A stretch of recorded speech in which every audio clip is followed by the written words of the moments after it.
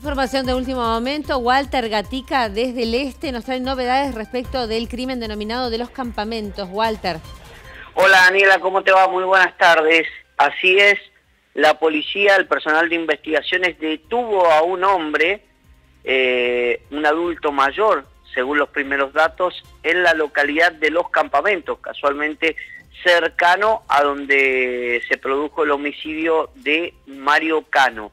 La persona que ha sido detenida, según las primeras informaciones, en su vivienda se le encontraron pertenencias de la víctima y era una de las dos líneas investigativas que tiene la policía hasta el momento. Esta persona está detenida ya en Fiscalía número 13 del Departamento de Rivadavia y aguardando por el par de eh, un par de cotejos de ADN que se levantaron en la escena del crimen para ver si coinciden con esta persona que ya ha sido detenida, que está imputada y que se encuentra a disposición de la justicia.